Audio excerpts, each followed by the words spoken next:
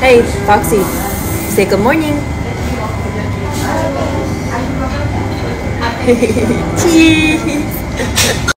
Well, we're gonna drop Dino off at his first day of school.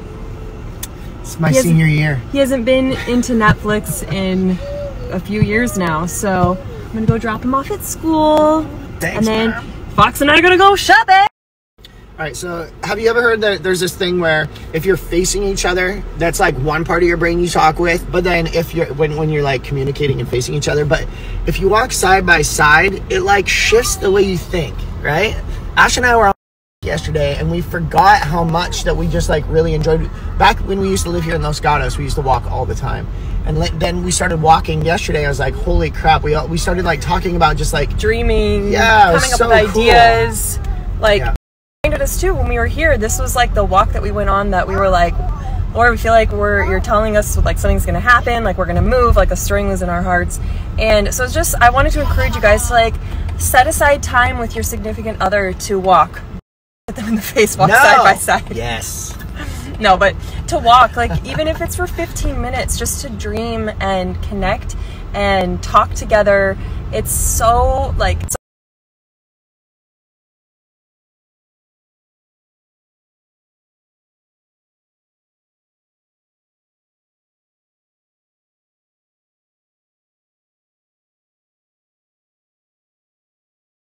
do my hair here in Willow Glen, and we uh, basically kind of started a shop like really close to the same time. It was always like a dream of mine. She also managed the property that we had, the Chateau Patron. So you guys have to come to her new shop.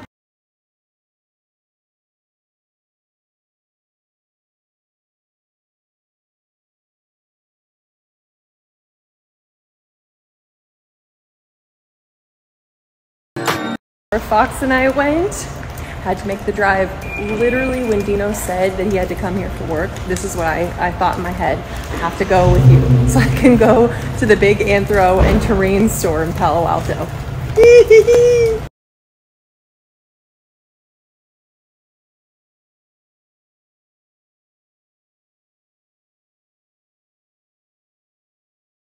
Baby and I had such a big day out. Did we have fun? Mhm. Did we eat all the food? What did you eat for dinner? Dinner. You ate hot dog?